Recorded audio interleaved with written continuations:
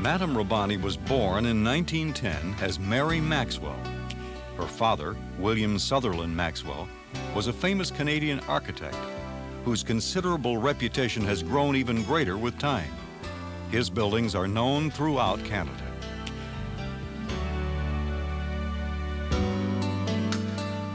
Her mother, May Ellis Bolles, who was living in Paris, became the first American in Europe to accept the Baha'i faith in 1898 and one of its first disciples in the Western world.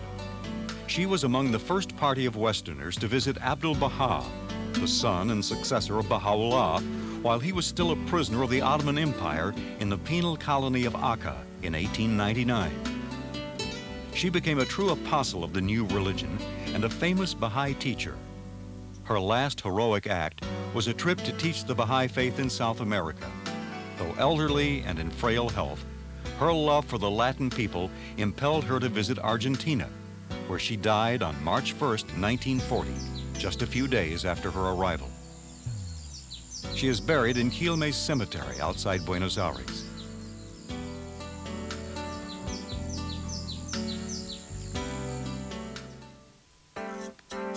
Little wonder then that her daughter would have an extraordinary life, becoming the highest ranking international official of the Baha'i community with the title, the Hand of the Cause. But their, their mission in life, if you like, is to help people to understand the Baha'i faith, to hear about the Baha'i faith, to um, uh, give as much of an impetus to the spread of the Baha'i message. You don't have to accept it. If you don't want to be a Baha'i, don't be a Baha'i, but for heaven's sake, listen to its message. Because in economic, social, spiritual, moral teachings, it is very advanced.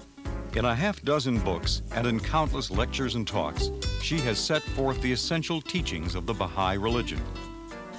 In 1937, she was married to Shoghi Effendi, the great grandson of Baha'u'llah and the appointed hereditary head of the Baha'i faith she became fluent in the richly poetic Persian language, adding to her already impressive command of English, French, and German, a necessary requirement in her new life, and in addressing the many Persian pilgrims from Iran in their own language.